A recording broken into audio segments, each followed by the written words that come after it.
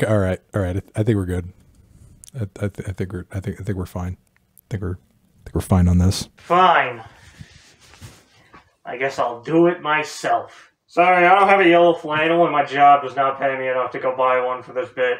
Nakey Jakey is a YouTuber with 1.8 million subscribers who I personally found through his illegally downloading music video and fell in love with his content right then and there. And then come to find out that this man makes music, which initially I didn't really like. Ooh, what bad taste 17 year old me had. And then 18 year old me comes along and play the ever living hell out of Not Dead Yet, and I've never left the Jakey train since. I love Jakey's music. He's got a very unique writing style, and his skill at sample flipping is amazing. So on December 21st, 2021, when he released Pine Barrens, that was cool. And then it had this. I can make you feel so damn alone. And the Oscar goes to. Proceed to be incredibly fucking hyped. Alright, February of 2022. What happens in February? Valentine's Day. Perfect time to drop the album. What else happens on Valentine's Day? My birthday. That's gonna be sick. Let's watch The Breakfast Club leading up to midnight. Oh shit, album doesn't drop. Pain. And then after that update video back in April, I kind of just forgot about the album and accepted it as being something we're never gonna hear like Dead Friends. Until one day I woke up and went to go take a shower, went on Spotify and saw that little blue dot on the bell and proceeded to freak the fuck out. It almost didn't even feel real, I'm not gonna lie. So, I think that's enough context on my end for how I went into this album. Let's go ahead and get right into my thoughts on it. Fair warning though, it is fucking hard to try dissect these lyrics and figure out what each song means, but I will try my best.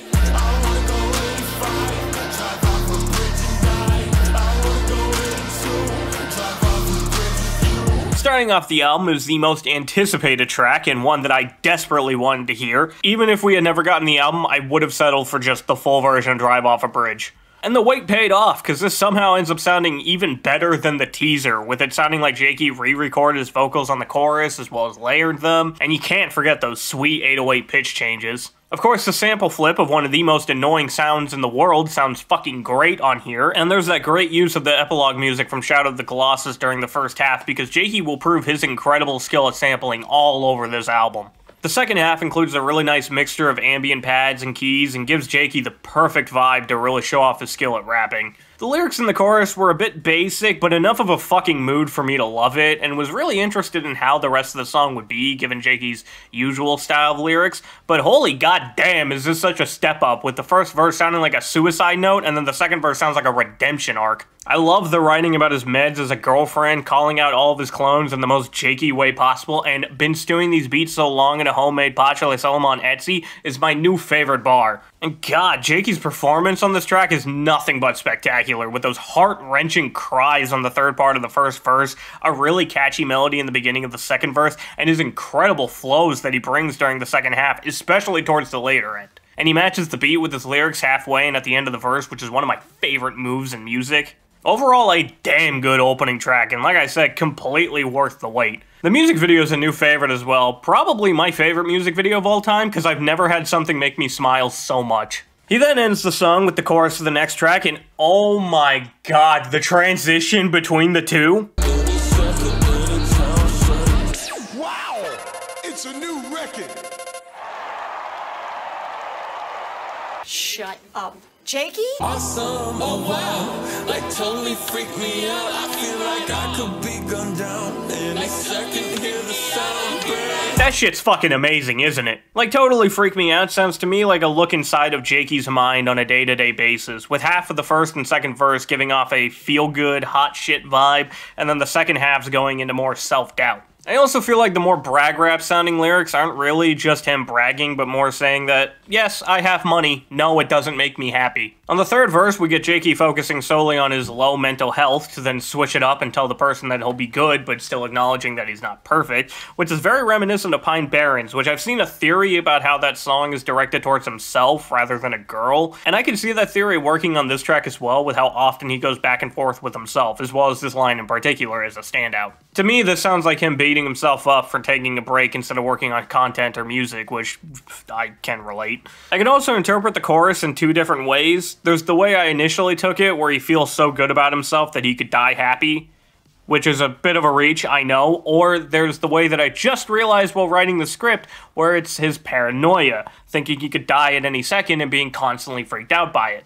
Probably the more likely way this is supposed to mean. The beat on this is really good and fits the vibe of the lyrics, with it being very cold, with the use of synths and pads, a sliding bass, and trap percussion. It fits for the braggadocious parts, while also works as a backing track for having low mental health. 27, but I'm seeing 28 as a bar, and I love the callback to the Etsy line. Overall, while the lyrics are a bit confusing, the song is an absolute banger that always gets me feeling like a hot boy right next to Not Dead Yet. And I know that interlude is sampling not another teen movie, but god damn it, all I hear is Keemstar. I don't know why.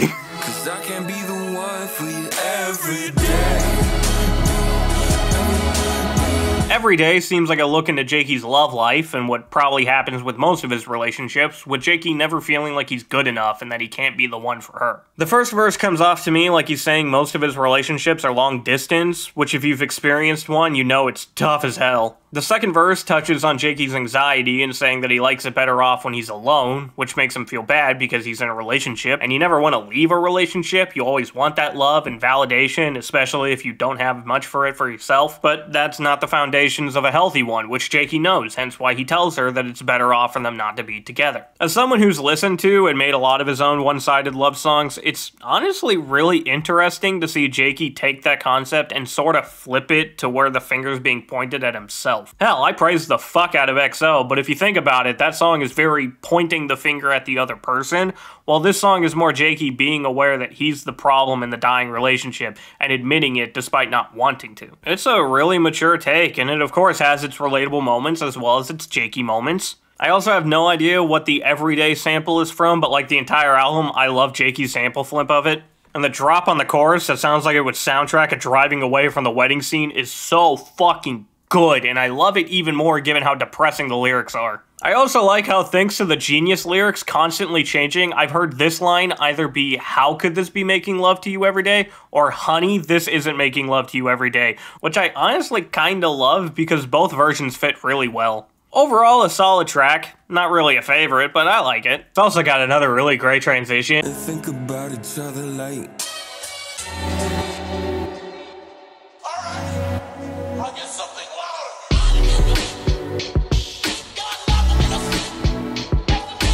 Fuck, I don't know if I like that more than the other one. Survival Horror features a dark, nocturnal, Silent Hill type beat with boom bap percussion, further showing Jakey's incredible production skill and also just in general makes this album feel like a combination of the sounds from all his previous singles. Like this one reminds me of Medium, Drive Off a Bridge reminds me of Not Dead Yet, like Totally Freak Me Out makes me think of South Dakota, but I think that's mostly because of the music video. Regardless, that nocturnal vibe works with the title and the song being about I'm gonna guess the existential dread of finding a purpose in life. So in Jakey's case, he turns to music and content creation and the damage YouTube will do to your mental health. Man, this album's a lot more similar to Rise of the Monarch than I thought. Throughout the song, Jakey uses a writing style of starting a verse with a specific year and then using hit songs from that year to describe how he was feeling during it. And for the most part, I like references, and I think this is an example of when it's done really well. The first verse is set in 2015, which is also the year that he started his channel and has him establishing his depression. That quickly goes into 2016, where he brings up that he's making music, which was also the same year where the rap review started, and also when he dropped his first single, Cafeteria, and what seems to be the first big video that broke into millions of views, which I think that fame and natural imposter syndrome is played into the ending of the verse. Then we get to the third verse, which is in 2017 and makes the YouTube meaning very obvious. 2017 is also when it seems to be when his channel really started to pick up, with multiple videos that year being in the millions of views, which naturally attracts the comments, and then there's a few videos where the views aren't so well, which affects Jakey's mental health, and he proceeds to blame himself for it. And in the chorus, I personally feel like he's talking to his fan base, with him being very stressed out from, I don't know, maybe the analytics, possibly also late night editing, while also saying that he doesn't want his fan base to view him as lesser, or I don't know, maybe get a look at his self doubt and low mental health. I feel like that last part is more notable in him sampling his online dating video for the outro, which came out after his horror and video games, where he ends that with being a bit more open with his mental health. That outro also plays into the last line of the third verse, which sounds like a reference to the Dead Friends album that he was working on before Romcom, which was also mentioned in the horror and video games video. It's like a fucking inception over here. I feel like all the other lines about real friends is just him gaining fame and the natural jealousy that's from it. Though I can't help but think of a certain thing that happened last year. Look, if you're in the fan base, you'd know exactly what I'm talking about. Also, as a Vine kid, I loved the sample on the song that was easily one of my favorite Vines of all time. Overall, it's another solid track. I honestly love the production on it the most. Something about that boom bap beat just gets me grooving. Maybe this is what I get for leaving you out in the cold. Jack my body to the woods and let me go. Paint a picture of my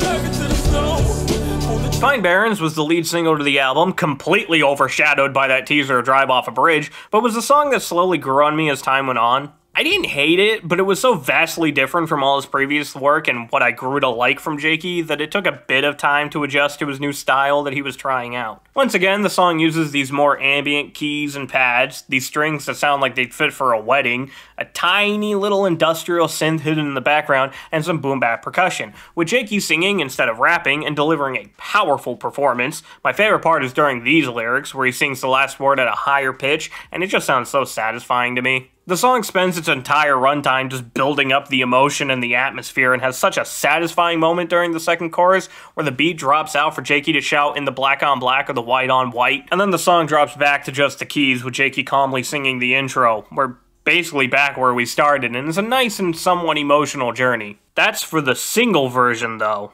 The album version has Jakey, I assume once again re recording his vocals, or at the very least giving them a different mix because they do sound noticeably different, adding some harmonies during the final chorus, and a whole new verse. And if I'm being honest, it's not bad, but it just doesn't feel necessary. And what probably turns me off from it is just me being so used to the original version. I'm used to that pre chorus kicking in and the lyrics being repetitive, but still working for the tone of the song. And with the addition of this verse, it just feels a bit jarring and out of place. Like, yeah, the lyrics do work with the topic of the song, and carve black lines in the white like a love letter is a pretty good bar. It just doesn't feel like it needs to be there. And the new mix for the vocals honestly sound kind of worse to me. Again, that's probably just because I'm so used to the original. Regardless of the version, it's a good song that has a lot of elements I like, especially the backing vocals because it took me many listens before I started hearing those and I always like it when that happens. But personally, I like the single version more. That's the one I'm to listen to. Good song nonetheless.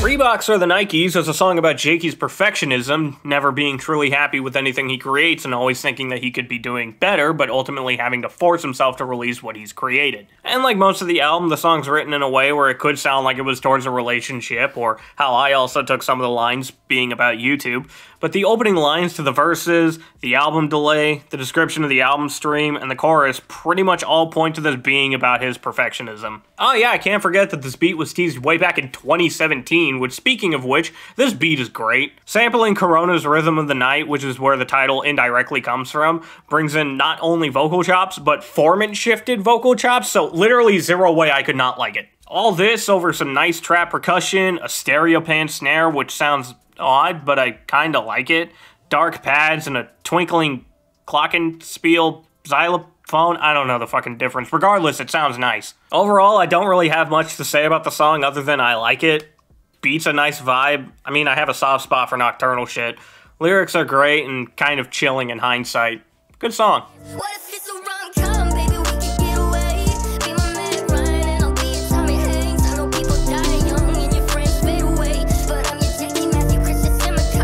Really bold of Jakey to make Nightcore like that. So proud of Mans. I thought the high pitch was just for the intro. But then it kept going. Tommy Hanks, or I guess what it was originally called, Remember This Feeling, is a song about, I think, a dying relationship.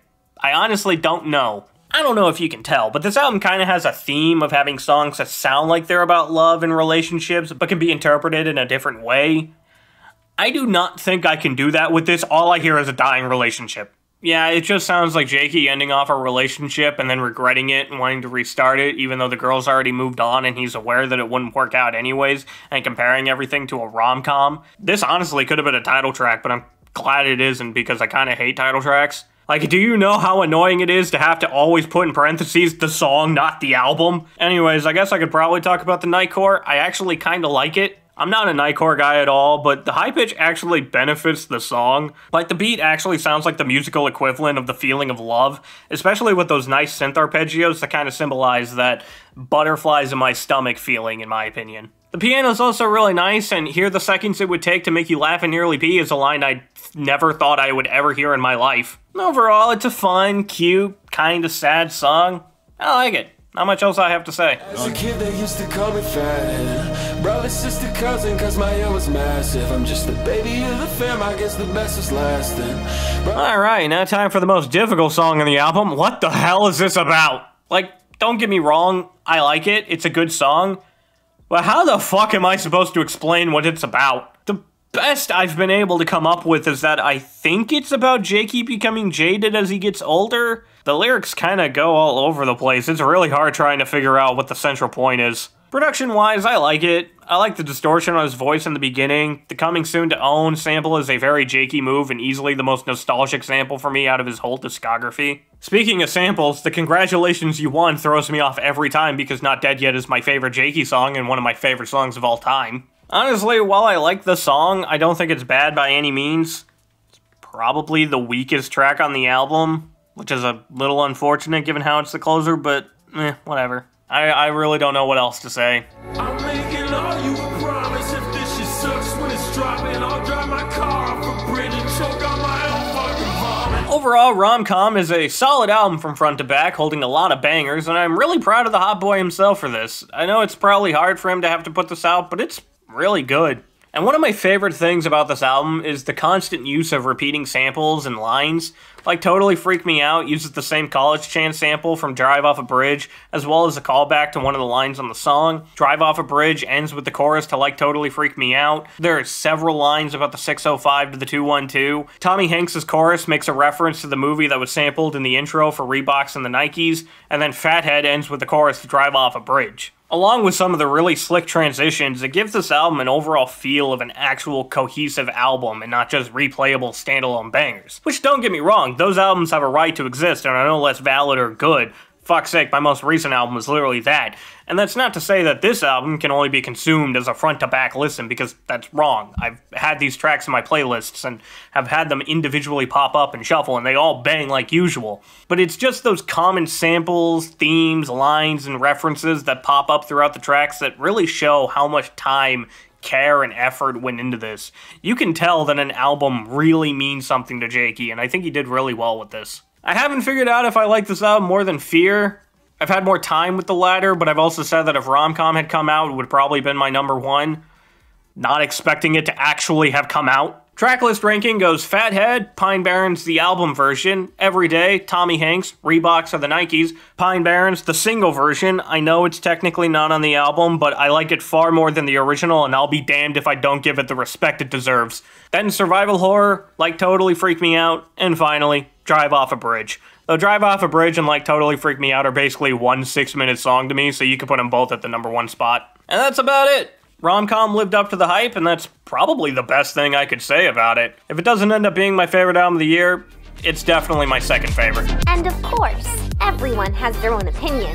But my opinion is the best opinion. I'm sure you figured that out already.